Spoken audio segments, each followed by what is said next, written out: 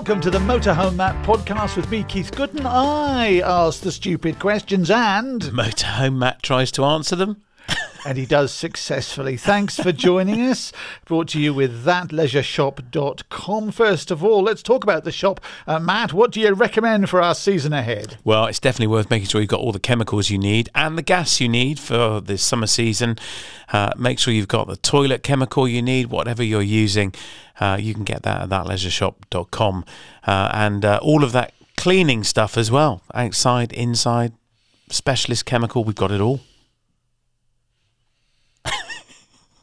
Let's delve into the news then, uh, shall we? Let's talk about a very interesting news story which appeared in the press about the weight of electric vehicles and how it could compromise multi-story car parks. They're all going to collapse and we're all going to die apparently under the weight of the cars because they're all going electric. That's not quite what Chris Wapples, who is a car park and structural consultant, told the newspapers. He said way back when the Cortina uh, would weigh uh, 1,300 kilograms, and now a Tesla EV is twice that weight. So he is saying that actually, if you've got a full car park with electric cars, maybe the structure of some of our older multi-stories could be call, called into question. Maybe. I mean, the, the weight of the car park is significant on its own without any cars in it.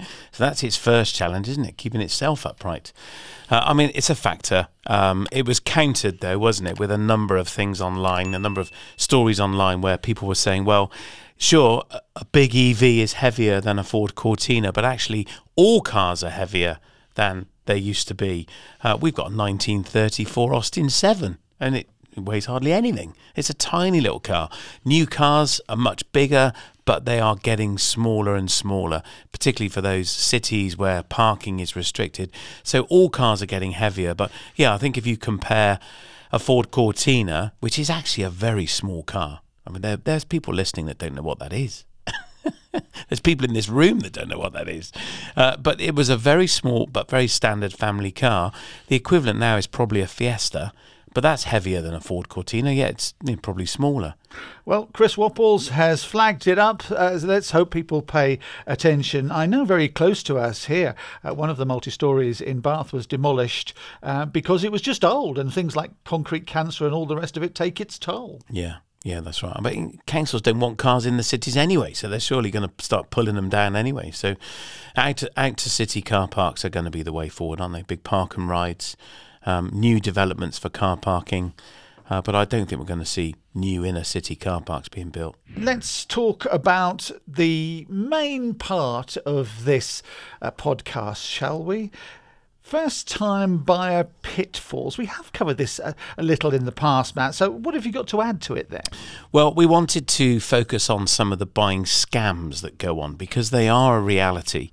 Uh, it happened to us this week. Um, we have a, a separate uh, business called Burrington Horse Boxes, and we sell vans that are converted to little horse boxes at three and a half ton, um, usually. And uh, somebody emailed us late in the evening and said, "Can you confirm that this these are your details?" And they were buying a horse trailer on eBay. Uh, I think it was no, it was Facebook Marketplace, and uh, the seller sent them an invoice with our name on, said Burrington Horse Boxes, and a random name and a random bank account, nothing to do with us at all. And they basically duped us, and they were trying to con this buyer out of nearly three thousand pounds. And thankfully for the buyer, they saw they they saw the light and, and exercised some diligence and emailed us and said, "Can you confirm these are your bank details?" And they're absolutely not. We're not selling this. And I have to say, the advert looked really genuine. It, I could see nothing wrong with the advert at all. I then reported the advert, and so did they. Uh, but it's so easy to be scammed. And Jude said to me, my other half, she said, why would you buy a horse box or anything like that and not go and see it? Well, we've actually just bought a trailer, a big tower van type trailer, you know, a big box on wheels for going to all these shows with the shop. I didn't go and see it. I sent the man, okay, £200 uh, to secure it. And then we went into London to go and view it and paid him the rest.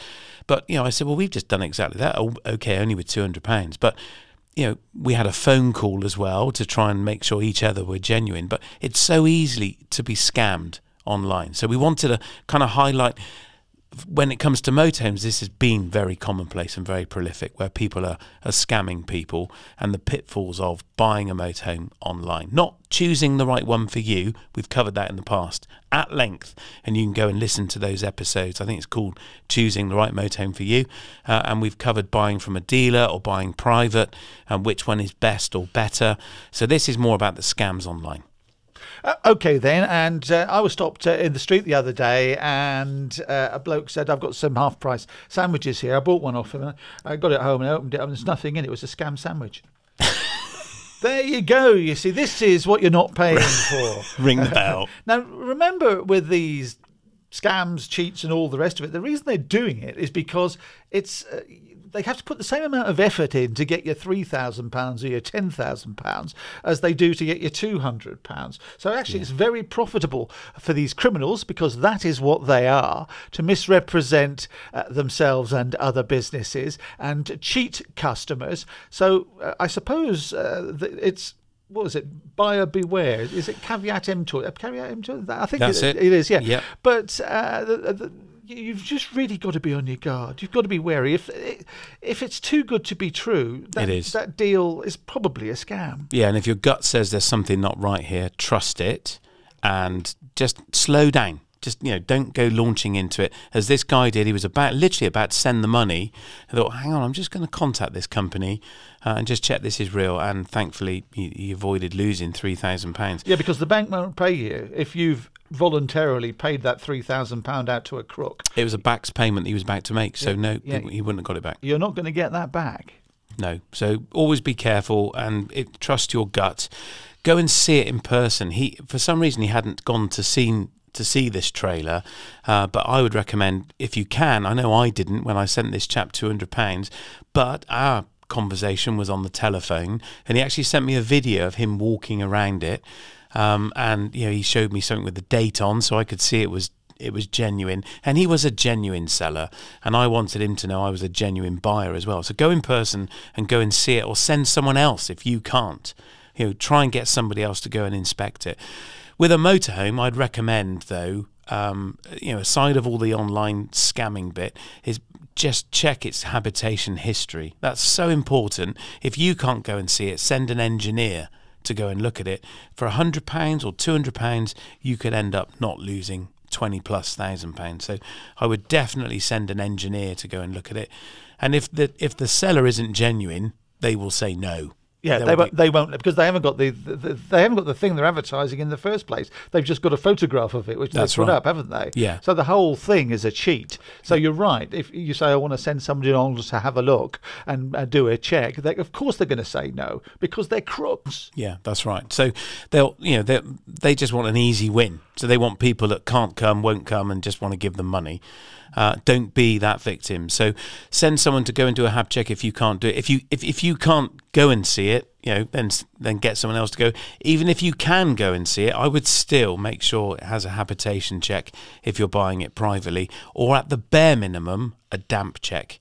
This is so important. There are so many motorhomes at the moment for sale on eBay that are there because nobody else wants to buy them, uh, and they can't be sold anywhere else. They've either come out of an auction. I I can see several online at the moment as we were recording this. Uh, you know, this morning I was on eBay having a look and on Facebook Marketplace, and I know there are motorhomes there that have been through an auction and not sold because they are basically mobile goldfish bowls. They are rotten, uh, and that's why they're on eBay. So, you know, not all of them are terrible, but some are we must say this is not eBay or Facebook Marketplace's fault. They are open to anybody. You have got to check yourself. It's not up to them to make sure the person who says that they are selling it is completely uh, uh, uh, uh above the law eBay has already asked them questions and has done some checks, as does Facebook. And to the best of their knowledge, these people are honest. But crooks are crooks and they're very sophisticated and they will find a way through. So no criticism of these auction sites. No, no, it's not their fault, is it? They're just that they're just the platform. Um, but definitely go and check habitation service history. Uh, if it doesn't have one, I'd be very cautious and I would definitely be getting a habitation check done. We've had people ask us about this before, and yes, it will slow down your purchase. um, but there could well be a, a, dark reason why it hasn't had a habitation check presented to you, um, or why it hasn't had a damp check recently. So Yep. definitely, please go and get one of those done. and they'll come out with all the excuses. I've got to sell it quickly. My mother's dying, or you know, I've got to rush off here and do this. I need the money quickly. Or we don't really have time. They will try anything to get their hands on your money. They will. So as Matt says, Yeah. you dictate the pace. The other thing to look at is the V5. So, you know, we're often taught, aren't we? Wait, look at the address on the V5. Is that the address you're viewing the vehicle? Now, a V5 is not proof of ownership. The new V5s state this very clearly across the front of them. We invest a lot of authority in this document. I think it's a pointless document, but it's one that that carries value, particularly as it still exists. The sooner it all goes online, the better. I think it'll be less open to fraud. But um, check the V5. Is the address the same? If it's not, why not? Now, we have motorhomes here on our hire fleet at Motorhome Holiday Company that are registered to my home address. Now, the reason we do that is if somebody drives down a bus lane or extends their stay in a car park and doesn't pay, the fine goes straight to my house and I know it will get opened and looked at straight away. Uh, it won't disappear into a pile of post in the office and sit on someone else's desk for a week. We can deal with it straight away. That's why we do it. So we change the address to my home deliberately, but it, we won't necessarily be looking at the motorhome at my house. Um, so we explain this to people, and you know they accept it. And if they want to come to my house, they can come in and have a cup of tea.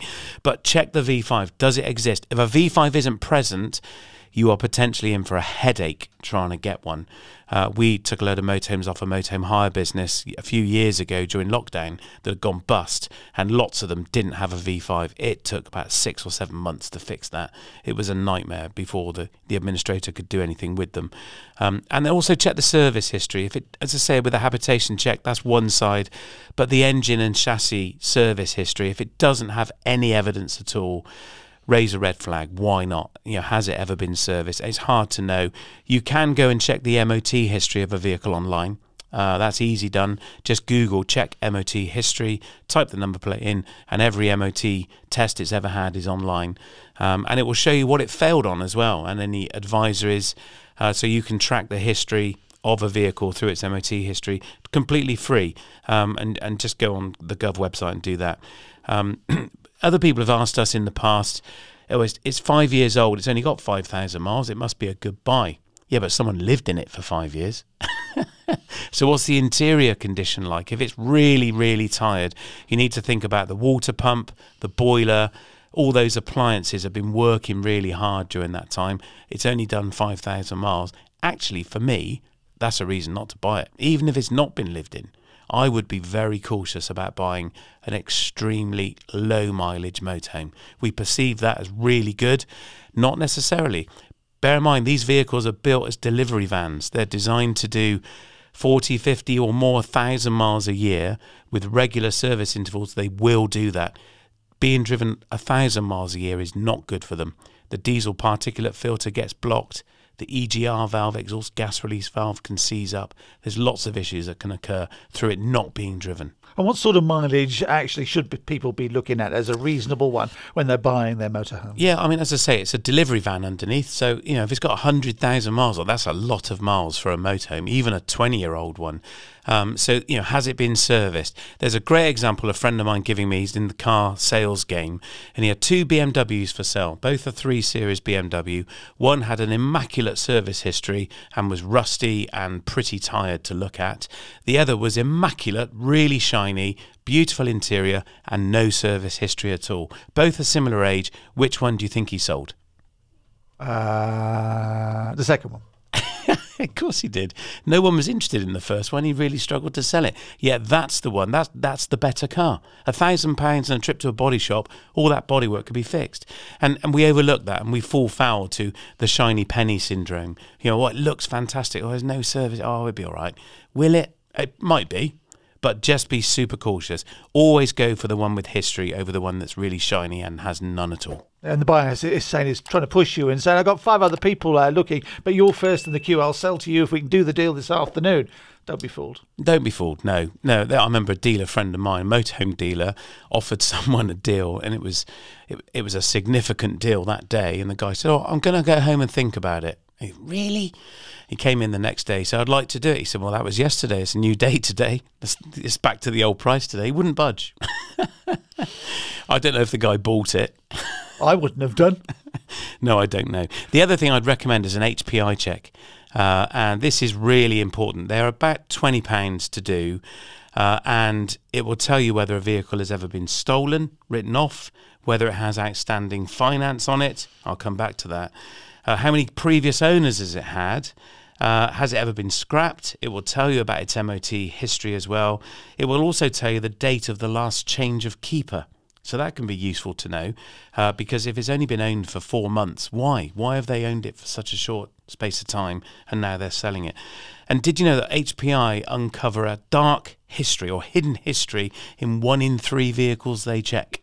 So some kind of red flag. Now that could just be it had a private number plate once upon a time. Mm. There's nothing to worry about there. Uh, but one in three flags something. One in three checks flag something. That's incredible. And you can find all that out for £20. HPIcheck.co.uk, I think it is, yeah. Um, just Google HPI check, and it's it's a really, really cost effective service. We HPI everything we sell um, as part of our account with Auto Trader, actually. And uh, we have a whole load of checks that we are able to carry out on a vehicle. And this is on the chassis side, obviously. Not the, it won't check the habitation side, only the MOT history of a vehicle. So the the service history is not captured anywhere online uh, unless it's a, a you can access a manufacturer's service history. Um, we can access Adria service histories, for example. We're an Adria warranty partner in the business here uh, and service partner. So we can look at the service history and warranty claims on an Adria vehicle as an Adria dealer can. Um, so it's definitely worth phoning a dealer of that motorhome manufacturer and asking them if they would check it for you. I'm sure they would. It might cost you a case of something, you know, chocolate or beer. Uh, but it's definitely worth asking a dealer if they would do that for you. I'm sure many would. It's the Motorhome Matt podcast brought to you with thatleisureshop.com. And we're talking about the first time buyer pitfalls and being scammed, pushed into doing a deal you're not absolutely comfortable with, but it's too good to be true. And as we said earlier, it probably is. Mm. Uh, let's go back to uh, finance, uh, shall we? Uh, but before we do that, uh, we did have an episode uh, about buying privately versus dealer, didn't we? Yeah. So it's in our library of podcasts, and perhaps you should listen to that one as well if you're in the market. Yeah, we, we spoke to two local dealers, um, JMT Leisure, who are up the road from us here in North Somerset, uh, and our friends at Chelston uh, down in Somerset, uh, and both of the owners give us a view on on you know why they obviously they're biased to buying from a dealer. They are a dealer. Uh, but why? Why they felt that buying from a dealer was a, a better route. Uh, and for some people it is. It's not for everyone. Some people will buy privately and have a great experience. I'm a fan if you've never done this before I would suggest you consider buying from a dealership. Yes, you might pay a little bit more, but in recent years, private sellers are commanding the same money as a dealer. You've got all the recourse, of course, buying from a dealer. So I would definitely consider if you've never done this and you know nothing about motorhomes, going and, and relying on a dealer. Yes, there are some bad ones out there. Um, and you can find those by Googling them and searching up reviews. Uh, and I suggest you do that. But go and check out that whole episode, it's really useful. Oh, we've got another episode, haven't we? Uh, uh, the one on creative funding solutions. Yes, so we were talking about motorhome finance and how that works, and Steve from Creative uh, joined us on that. That's a really good episode if you want to understand how motorhome finance works because it's different to car finance very slightly. Uh, it's more favourable, I'd say. But if you're buying a motorhome privately and it's got finance on it, then you shouldn't dismiss it. You need to know it's got finance on it because if you go giving the owner the £40,000 they're asking for and it's still got £28,000 of finance on it, the finance company own that vehicle and they can come and claim it from you and just they'll just take it off you. You've lost that money. You will not get that back. So the importance of an HPI check is so acute here. It will tell you that there's finance. Um, and then you can go and liaise directly with the finance company on paying that finance down and paying it off, and then any balance giving to the seller. So, in terms of dealing with a, a, private seller that's got finance, that's perfectly reasonable. They would be able to request a settlement figure, and then you could contact the finance company and pay them direct. Uh, it probably would take about a week, though, for that imprint on the vehicle that it's got finance on to disappear. But they will confirm that you've paid them within normally a few hours, maybe a few days, and then the balance you give to the seller. What's this about a hydrogen motorhome, Matt? or not hydrogen motorhome, Matt, a hydrogen motorhome, comma, Matt. So this story made me laugh. This was on outandaboutlive.co.uk. And they've posted a story that a hydrogen camper van concept has been introduced. Well, it's a drawing. so there's a company called First Hydrogen. I'm just looking at it here on my phone. They're based between London and Vancouver, uh, and they're exploring uh, a hydrogen powered van. And so they've drawn a very funky looking camper van, uh, uh, which apparently is going to be hydrogen powered. But it seems like we're sort of peaking a bit early with this story. Sounds like it. I- I've done my own concept. If you, is it possible to zoom in? Here's Keith's concept. Here I've got a nightclub in the uh, bottom floor of my concept motorhome and a block of flats above, so it's not very far to stagger home. But yeah, it's a concept. Well, it must be real then. It must be true. It's coming. Where can I buy one? yeah, and mine is fueled with good wishes and sausage rolls. and fairy dust. yes. no doubt hydrogen's going to feature one day, uh, but we'll see. As it feels like it's a lot even longer away than EVs at the moment, doesn't it? It does, and there's nowhere to pump your hydrogen either, is there? Is that what petrol stations are going to become, do you think? Maybe e-fuels as well, synthetic fuel. Formula One are all over that. So yeah, it's interesting topic. We'll we'll keep on exploring and unpacking this. Don't worry, we've got some fantastic experts coming on the podcast who know a lot more about this than me. Uh, and and they really start to dispel a few myths. There's a phrase called a FUD. Do you know what a FUD is? No, I do not know what a FUD is. Is FUD it, is it the sound that. I make when I fall out of bed? It's a fear of unknown and doubt. There we Oh, are. FUD. Yeah, and I think there's a lot of FUD around this topic. Yes. Where change is being forced upon us, and it's it's that fear of unknown and doubt is creating all these concerns and and and these you know pub conversations. Uh, so we're starting to unpack more and more on this whole topic of EV. So stay tuned. Yep, do. Now, we hope that we've cleared up some of the issues you might have if you're a first time buyer, some of the pitfalls you might come across. Number one, uh, don't be scammed into making a quick decision and transferring your hard earned into somebody else's account and finding out that you've not even got a drawing of Keith's concept car here uh, before uh, you find out that you have been scammed. Do your HPI check, just £20. You can find out a whole lot about uh, that uh, motorhome or caravan that you, you're going to be buying. Is it motorhome or caravan? Well, that's a good point actually. On a caravan, you can contact the CRIS, so the Caravan Registration Service, CRIS, and often a caravan, your note has the indelible ink in the windows, a whole load of numbers, and that's its CRIS number, and that's like a V5 for a caravan. It's an opt-in uh, service. So not every caravan is part of the CRIS scheme, but CRIS will tell you whether that caravan has ever been reported, stolen, written off. And again, there's an, a small fee. I think it's about twenty pounds, um, and you can contact CRIS and give them the number that's etched in the window, and they will um, they will tell you a bit more about the caravan. Yep. Okay, then hope that's helped you. Let's do our audience questions and answers. Well, my favourite part of every podcast. Colin Coulthard's in Harrow. He says, I'm looking at Wi Fi for the motorhome and remembered you said you had a good deal you used at the NEC. Uh, that is the, the big shows uh, in February and in October for motorhomes and uh, caravans and such like. Would this be any good on the road? He asks. It absolutely, yeah. We've been uh, we've been trialing a little 4G router from Falcon. They're 195 quid. We've got them in the shop at thatleisureShop.com. Uh, and they're a little plastic box with two great big aerials on, and you can, they connect with a SIM card. We sell them with a SIM as well. There's a SIM in the, available to buy in the shop. Uh, and uh, if you're not sure what SIM you need, give us a call. We're going to unpack that in a separate podcast. Uh, but they are brilliant on the road, Colin. Um, they have two little suckers, so you can stick them on the window uh, of your motorhome. They're powered by 240 volts, so a three pin plug, or a cigarette socket. So when you're driving, they'll work as well. we don't call them cigarette sockets anymore. That's Are they? not very PC. It's a 12 volt out outlet. okay, it's a cigarette lighter, isn't it? No, no, no, no, no, no. So you can plug it in the dash or you can plug it in the back where the TV would plug in. Uh, we were using them at the NEC show. In fact, we're using them at all of the outdoor shows for our little credit card machines to connect to, and they're brilliant. They're really good. Uh, and they're yeah, I think they're a fantastic solution. No drilling in the van or anything like that. Avtex, of course, make the aerial that goes on the roof, as do Falcon, as do Maxview. There's lots of brands out there. They need installing, and we we have a whole episode on that as well, don't we? In the past on on motorhome Wi-Fi, there's no installation at all. Literally plug it in, stick it to the window, ideally outside, but it'll work inside as well.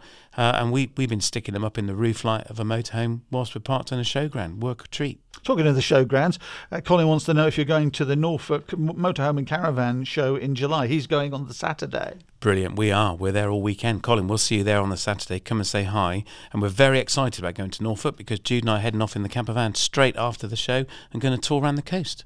Lovely. Yeah. If you're listening to this and you've done Norfolk, we want to go down to the sort of heading a bit south, so East Suffolk. So if you've got some travel tips and campsite tips, I'd love to have them because that's where we're going. Rebecca DeLuca's in Nottingham. Hi, Matt. Do you know how the proposal to give everyone's grandfather rights is going? Last year, the Department of Transport sent out for some industry feedback to gauge demand and feeling with their response due early 2023. I've ordered my first motorhome and need a C1 license in time for when it arrives. Do you think things are going to change this year, making it unnecessary for me to have to go through the rigmarole of getting a C1 license. And we've covered this a lot, haven't we, Matt? So has anything changed? Not to our knowledge, not yet, not as we record this. So we've been trying to find out. I know the Department for Transport have created the proposal, which has gone to Parliament or is going to Parliament. We're still waiting for news. Uh, it's it's an open jury really as to what will happen. I personally hope, and I believe that it will we will revert back to. And for people who don't know, what's behind this is. So this is about, I think, about lowering the resistance to becoming a lorry driver. So it means that anyone who's passed their test can now drive something up to seven and a half tons, which is what you and I can do because we're old. So if you pass your test before 1997, we could get out of our little learner mini and straight into a seven and a half ton truck arguably not the best step in terms of car ownership. Uh, but then it was introduced, it was an EU regulation in January the 1st, 1997. You pass your test from today onwards, you are capped at three and a half tonnes, uh, which uh, a four and a half ton vehicle is no different to drive to a three and a half ton vehicle. A seven and a half ton truck is a bit different. But it means you have to take another test to, to, to, get that added to your so license. already the rule for towing has changed. So that's made the uh, route to, to driving something with a trailer uh, much easier. Uh, so I do think that this European directive of a C1 uh, will uh, restriction will be lifted. Um, so hopefully in time for when your motem arrives. Otherwise, you will be taking the test, and it'll be sod's law. They'll lift it the week after you pass. There you go, Rebecca. Hope that helped. Alan Shrimpton has dropped us in a paper form at one of your shows uh, that you've been gallivanting on throughout the country. Is it legal to tow an A trailer behind a motorhome in France and Spain? So I think what Alan's referring to is a car on a on a tow frame, an A frame it's often referred to, where the car is on the road. Is it legal? Yes, it's legal because it's legal in the UK, assuming that the car and the motorhome or the towing vehicle come from the UK. The car in the UK is considered a trailer. However, the, the Spanish and the French authorities don't like it. And the reason is because the car isn't effectively braked. So when you brake in a car, towing a, a, trailer, you get something called overrun brakes. The trailer comes toward the back of the car. It's called inertia. And in doing so, it compresses something that pulls the brakes on, that makes the trailer brake itself as well. And then you stop braking and the trailer goes back and the brakes come off a tow car doesn't do that. Yeah, I was going to ask you about that because I passed one on the road uh, the other day. It was a big motorhome, and they were towing a small car behind. And you, I thought when you were towing a car, you had to have somebody in the driver's seat. When you're towing a broken down car, that's what you have to do. Yeah, as you say, effective braking. So you you don't have to do that in every case in a motorhome. Is no, so case? on an A-frame, it attaches to the front of the car. You leave the keys in the ignition so the steering lock isn't on, and it just follows you like an obedient dog. It's amazing. The wheels turn, it just follows you. You don't have to have anyone in it. In fact, having someone in it is probably dangerous.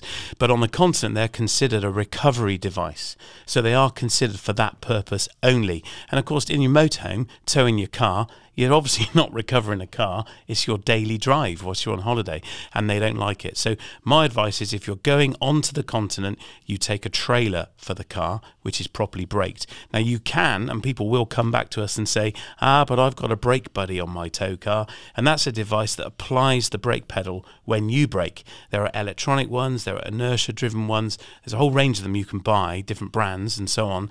The reality is the brakes in a car only work effectively when the engine's running because they've got a servo assisting the brakes. When you're towing the car, the engine's off, so therefore the brakes aren't very effective. They're far less effective than a trailer with overrun brakes. So my advice is put the car on a trailer. The downside to that been there and done this is when you arrive on the campsite, you're then juggling three vehicles. You've got the motorhome, the trailer, and the car. And remember, you need to take insurance documents and make sure you've got a UK sticker on the back of every vehicle. So all the paperwork MOT V5 you need to have that for every vehicle if you're going onto the continent. So, is it legal to tow an A trailer behind a motorhome in France and Spain? Well, that was the question. Legal, yes, but it doesn't matter what bit of paper you're waving at that French copper. If he wants you to take that car off the back of the motorhome, you're taking the car off. Never argue with a man with a gun. That's well. I, this happened to me. We were trying to go through the Mont Blanc tunnel, and I was towing a car on an A-frame, and they made us unhitch the car. And I said, "Why?" And I refused. Pourquoi? Yeah, exactly. Lucky there were two of us in the motorhome, so we had to pay two tolls, and I'm convinced this is what it was all about. We had to pay the toll twice, drive through the Mont Blanc tunnel, got out the other side, hitched it back on, carried on. There you go. Uh, another thing, momentum momentum, uh, as you were you were talking about it as well. You know those huge um, freight trains they have in America, about a mile long. Yeah. They spend the first fifteen minutes before they set off. Uh, reversing back the train, so every one of their box cars is pushed tightly up against the next one. So when they pull away, they only ever pulling the weight of the first box car, oh, I see. and then the second. So the couplings, the, yeah, so the couplings move, and it, and they get enough momentum to move the whole train. I wonder how long it takes to stop one of those. But they're a mile long, more than yeah. a mile. well, I'll go back. To, I'll go back to the trailer that we've just bought for the shop um, online, and and yeah, that you can feel when you're towing that full of shop stock yeah, we tow that on the back of a motorhome, and you can feel when you brake, you feel the trailer braking, but it definitely increases our braking time. Yeah. Okay, so that's us done and dusted for today. How should people get in touch then, Matt? Really easily, you can get in touch with us on Facebook or Instagram or even on TikTok. We're a big sensation on TikTok. My kids are very impressed. You can find us at motorhomematt.co.uk as well. And whilst you're there, if you type forward slash Ask Matt. You can record a question, make a contribution, you can record your voice, or you can just enter it on the form. And make sure you go and find us on YouTube as well. You'll find different content there too, which you can indulge in. And make sure you hit the bell, hit subscribe, and then the gods of YouTube can tell you when a new episode is released.